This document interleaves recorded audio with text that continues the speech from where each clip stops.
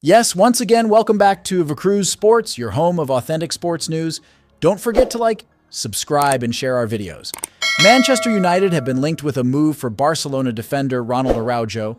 Reports suggest that Manchester United have approached FC Barcelona to discuss the possible signing of Araujo to the team.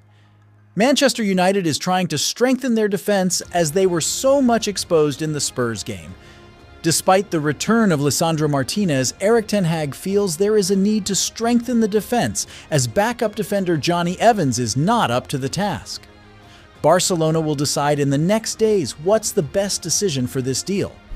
Manchester United are also advancing in the signing of Guinea striker Serhou Guirassy, who plays as a striker for VfB Stuttgart. Guirassy is keen to the move, and Manchester United will need to pay a fee around £15 million to crack the deal.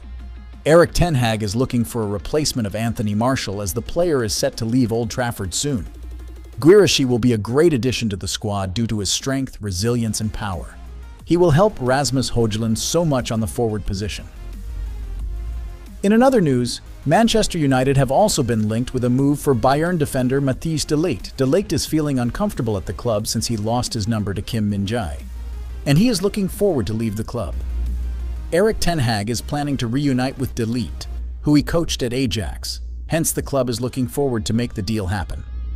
Manchester United are also advancing in the signing of Crystal Palace winger Michael Olise. There's a proposed swap deal, but it's not yet official, hence we shall be giving you right updates on this deal. Just stay on our channel and make sure you like, subscribe, and share our videos. Thanks for watching.